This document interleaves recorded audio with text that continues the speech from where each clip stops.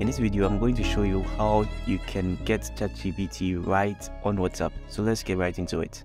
Now the first step obviously is to download WhatsApp. Now if you already have WhatsApp, then get into your phone's browser, being it Chrome, Edge or whatsoever, and type in shmooz.ai in the address bar.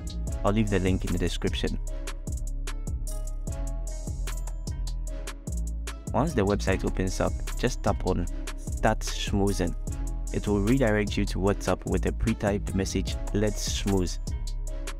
Just click on send on that message and then you are in.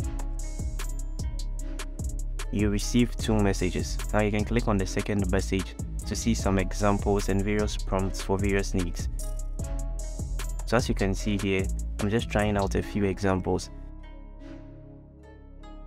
it's got an image generator which can be used to generate some quick images as in when you need them. There is a downside to Shmooz.ai. It gives you 20 messages, so you can just think around it to see if you love it. After you can join their premium subscription for $10 a month or their platinum subscription for businesses for $160 a month.